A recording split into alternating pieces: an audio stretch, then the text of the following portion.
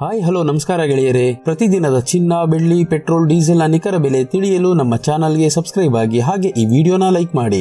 ಮೊದಲಿಗೆ ನೋಡೋದಾದ್ರೆ ನಿನ್ನೆ ಒಂದು ಯು ಎಸ್ ಡಾಲರ್ಗೆ ರೂಪಾಯಿ ಮೌಲ್ಯ ಎಪ್ಪತ್ತೊಂಬತ್ತು ರೂಪಾಯಿ ತೊಂಬತ್ತು ಪೈಸೆ ಇತ್ತು. ಇಂದು ಒಂದು ಯು ಎಸ್ ಡಾಲರ್ಗೆ ರೂಪಾಯಿ ಮೌಲ್ಯ ಎಂಬತ್ತು ರೂಪಾಯಿ ಆಗಿದೆ ರೂಪಾಯಿ ಎದುರು ಡಾಲರ್ ಮೌಲ್ಯ ಹತ್ತು ಪೈಸೆ ಏರಿಕೆ ಕಂಡಿದೆ.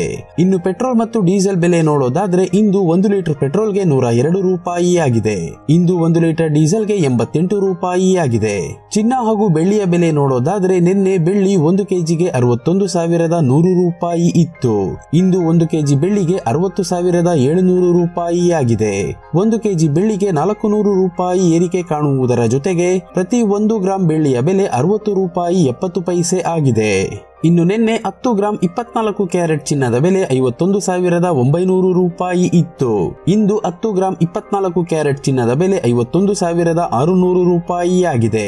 ಹತ್ತು ಗ್ರಾಂ ಇಪ್ಪತ್ನಾಲ್ಕು ಕ್ಯಾರೆಟ್ ಚಿನ್ನದ ಬೆಲೆ ಮುನ್ನೂರು ರೂಪಾಯಿ ಇಳಿಕೆ ಕಾಣುವುದರ ಜೊತೆಗೆ ಪ್ರತಿ ಒಂದು ಗ್ರಾಂ ಇಪ್ಪತ್ನಾಲ್ಕು ಕ್ಯಾರೆಟ್ ಚಿನ್ನ ಐದು ಸಾವಿರದ ನೂರ ಅರವತ್ತು ರೂಪಾಯಿ ಆಗಿದೆ ಮತ್ತು ನಿನ್ನೆ ಹತ್ತು ಗ್ರಾಂ ಇಪ್ಪತ್ತೆರಡು ಕ್ಯಾರೆಟ್ ಒಡವೆ ಚಿನ್ನದ ಬೆಲೆ ನಲವತ್ತೇಳು ಸಾವಿರದ ಏಳುನೂರು ರೂಪಾಯಿ ಇತ್ತು. ಇಂದು ಹತ್ತು ಗ್ರಾಂ ಇಪ್ಪತ್ತೆರಡು ಕ್ಯಾರೆಟ್ ಒಡವೆ ಚಿನ್ನದ ಬೆಲೆ ನಲವತ್ತೇಳು ಸಾವಿರದ ನಾಲ್ಕು ನೂರು ರೂಪಾಯಿಯಾಗಿದೆ. ಹತ್ತು ಗ್ರಾಂ ಇಪ್ಪತ್ತೆರಡು ಕ್ಯಾರೆಟ್ ಒಡವೆ ಚಿನ್ನಕ್ಕೆ ಮುನ್ನೂರು ರೂಪಾಯಿ ಇಳಿಕೆ ಕಾಣುವುದರ ಜೊತೆಗೆ ಪ್ರತಿ ಒಂದು ಗ್ರಾಂ ಇಪ್ಪತ್ತೆರಡು ಕ್ಯಾರೆಟ್ ಚಿನ್ನ ನಾಲ್ಕು ಸಾವಿರದ ಏಳುನೂರ ನಲವತ್ತು ರೂಪಾಯಿ ಆಗಿದೆ